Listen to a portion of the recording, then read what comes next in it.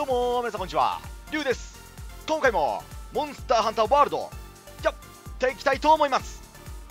えー、今回もですねあのー、ハム太郎ちゃんあのマム太郎と用の装備のご紹介、えー、ご提案でございます。えー、ご紹介する装備ですねあくまでもあの一例でございますんで改良したい点とかあの装飾機の都合なんかがあればどんどんいじってね使ってみていただければと思います。え、最後にね、実践動画も一応つけてますんで、どんぐらいダメージ出るかとか、あの、それ知ってる方は、え、そちらもぜひ、え、参考にご覧いただければと思います。それでは、早速行きましょう。今日はですね、ランスですよ、ランス。ランスすげえ相性いいんですよ。あの、ハム太郎ちゃんに。あの、ちょっとね、あの、見た目は 見た目はちょっと、あの、ガンダムみたいな感じで、ちょっとやべえっていうね。あの、ガンキンのね、あの、見た目ちょっとやばいので、ちょっとそこだけご了承いただければと思うんですけども、これね、ランス何使ってるかっていうと、これ、キリンのランスなんですよ。キリンランス。本当は、あの、持ってればあっちの方がいいです。あのー、鑑定武器のランスあるんですよ。あの、ガイラ、えー、っと、ガイラランスだっけ？なんだっけ名前。えー、っとね、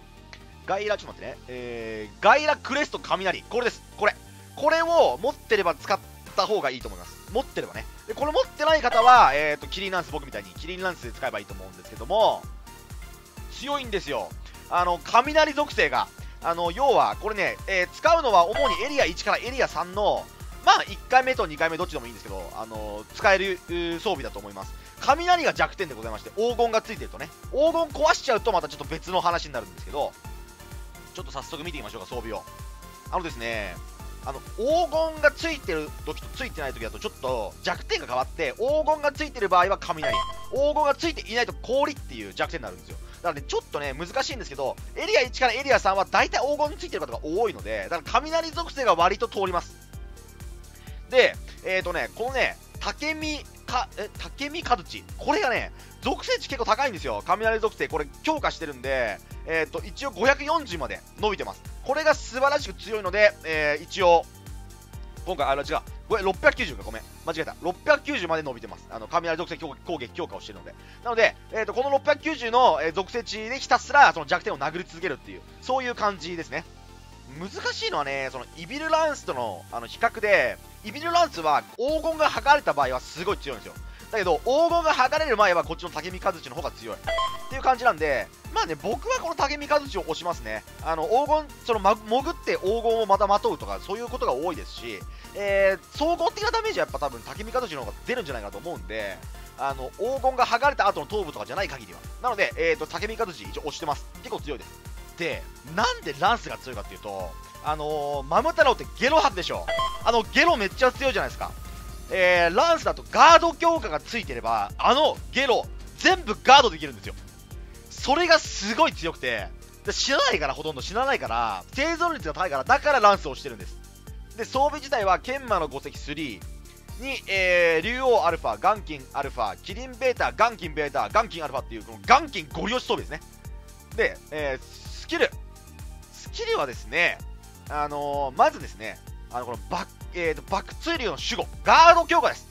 これね、結局ね、あのー、破壊王をつけたいんですよ。できれば。これね、一応のデータでもすでに、あのレベル、エリア1から3は、破壊王あった方がいいっていうデータが出てるので、破壊王はつけ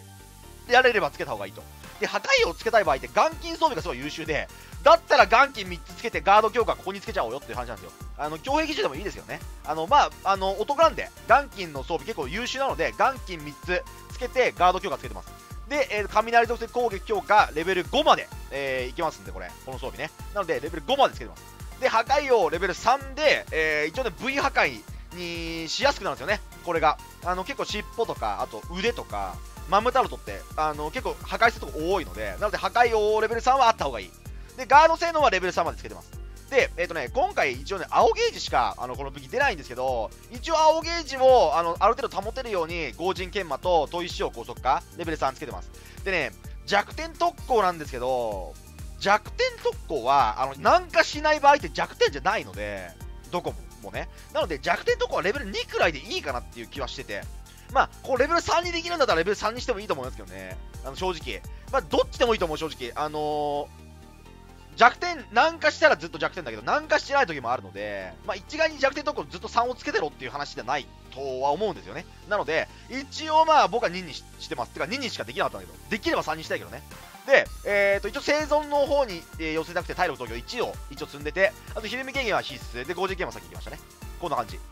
装飾品がこんな感じでございますね。大正銃。えー、1個、えー、合人銃1個で来光、来光、来光の鉄壁1個の、えーと、体力1個って感じですから、まあ割と組みやすいんじゃないかなと、あのそれを意識して作ったんですよね。あの、強壁銃とか使わないようになんとかして。で、えっ、とまあ多分合人銃と鉄壁銃がちょっと一応まあレア度高いんですけど、まあ、これ多分1個ぐらいだったら持ってるでしょみんな。これだって1個ずつぐらいだったら持ってるかなっていう感じがするんで、意外と作りやすいんじゃねえかなと、個人的には思ってます。それではね、最後にね、実践編の様子をちょっとご覧いただきましょうか。まあちょっとイビルランスとのね、なんかその、使い分けみたいなところもちょっと難しいんですけどね。あの、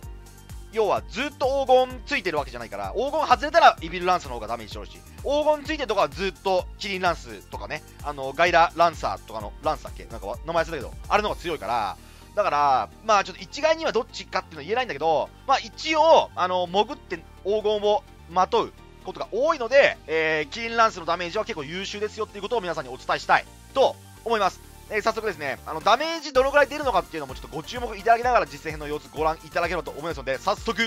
いきましょうどうぞじゃあちょっとエリア、まずは1からですね。エリア1は正直ですね、あの、大砲と落石使っていただいて、ダメージ稼いだ方がいいんですよ。だからあんま殴る必要ないんですけど、まあ一応ダメージ見るためにちょっと殴ってます。えー、大体33くらい？会心出て、30から33くらいですね。で、これね、イビルランスとかと20代、20とかしか出ないんで、だからやっぱ強いんですよ。こっちの方が。やっぱ黄金まとってる時は、ダメージ自体はこの雷ランスの方が強い。でね、えーと、ただし、このエリア1自体は、もう本当に大砲をめっちゃ撃つんで、エリア2です、問題はここ、エリア2、エリア2は、あのー、やっぱりね、この南下してるので、ダメージがね、あのー、この期待できるんですけど、やっぱね、黄金をまとってるんで、あのこのビルランスよりも強いです、ダメージ。腕とかには、えー、大体100とか、えー、入ることもあるし、大体70から90ぐらい。今はまあパワーガードで106ですね。フルカウンター好きで。ちょっと腕とかを殴ってください。えー、ちょっと、えー、78、78。まあ、えっ、ー、と、大体78、78、96みたいな、78、78、96みたいな感じですよね。だから結構ね、あの強いんですよ。イビルランスだとね、もうちょっと落ちる。あの、ダメージがね。だから、こういう黄金をまとってるこのエリア2、エリア1およびエリア2、まあ、エリア3問かなまでは、やっぱり雷ランスは強いんですけど、ただし、その、何ですか、えっ、と、かえー、頭部頭部をはあの破壊する場合はちょっとまた別。で、これ、ランスの強いところ、乗れるところ、非常に強い。乗れるところはめっちゃ強い。で、乗りをダウンをさせると、あの、頭部にね、あの、みんなの集中攻撃が誘導できるんで、これがね、まあ、またランスのいいところ、自分でね、ジャンプ攻撃ができるっていうのが。でね、あの、ここ、黄金まとってる場合はこれ強いんですよ。ですよ。73とか73出るんですけど、これ、この黄金が、えー、っと、取れてしまった場合、こうなってくると、今度はイビルランスの方が強くなるんですよ。だからこれね、ちょっとね、考えもんであるけど、まあでも総合的に見れば、多分雷ランスの方がダメージ出ると思うんで、なので、あのー、エリア1からエリア3は雷ランスで、僕はいいと思います。で、エリア、ここね、あのエリア3はしっかりとこの落石を当てて落石ダウンを稼いでいく。で、頭殴ると、えっ、ー、と、ちょっと胸がこれ、胸だな。頭を殴るとですね、57とか46とかなんですよ。これってやっぱイビルランスとかの方が強くて100とか出るんですよイビルランスとかだとだからねちょっとねまたねそこはまた別の問題になってくるんだけど、まあ、こっちの尻尾とかこの辺の黄金がまだついてるところは全然この神ランスランスの方が強いです78とか8690とか出るからこっちの方が強い全然ね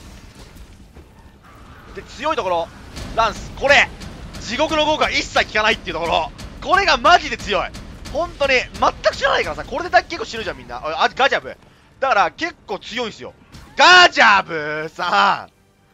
で、ガジャブハメ来た ガジャブ強すぎ問題。最強モンスターやっぱガジャブだわ、モンハンワールドの中で。この、一切効かないこの地獄の効果が。これがね、本当に強いんですよね。だから、あの、これだけのためにランス使ってると言っても過言ではないんだけど、正直ね。